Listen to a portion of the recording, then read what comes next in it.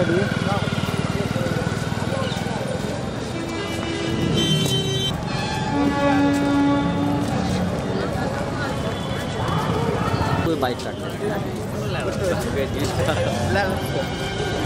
भीड़ तो खत्म हो गया। ट्रेन आई थी तभी ना आ रही हाँ ट्रेन निकल रहा है ना ऑडियंस है, आप टेंशन